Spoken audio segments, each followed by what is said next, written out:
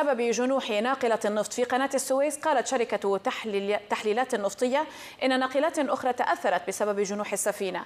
كشفت أيضا الشركة عن أن عشر ناقلات تحمل 13 مليون برميل من النفط الخام غير قادرة على عبور القناة بسبب السفينة الجانحة. وبحسب الشركة أيضا يصل المعدل التقريبي للتراكم إلى 50 سفينة في اليوم وحذرت من أن أي تعديلات في إعادة التوجيه ستضيف 15 يوما لرحلات السفن من الشرق الأوسط إلى أوروبا. أسعار النفط ارتفعت بنحو 3% عقب حادثة جنوح ناقلة في قناة السويس وكذلك عرقلت مرور سفن الأخرى. نفط برنت ارتفع بنسبة 3.19% للبرميل وذلك بعدما شهد انخفاضا قدره 5.9% فيما صعد خام غرب تكساس الوسيط بنحو 3.10% أعلنت أيضا هيئة قناة السويس المصرية عن إجراءات عاجلة بعد الواقعة لعودة حركة الملاحة إلى طبيعتها. تداعيات تعطل قناة السويس ستؤدي إلى اضطراب إمدادات الطاقة وذلك حسب ما ذكرت وكالة بلومبرغ في تقرير لها.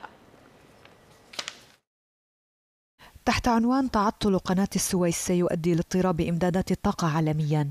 نشرت وكالة بلومبرغ تقريرا حول تأثيرات انسداد القناة على قطاع النفط.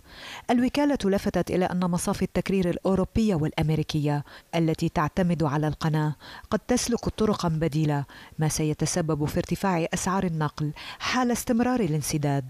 علاوة على ذلك سيتسبب التعطل في توقف تدفقات النفط الخام من بحر الشمال إلى آسيا.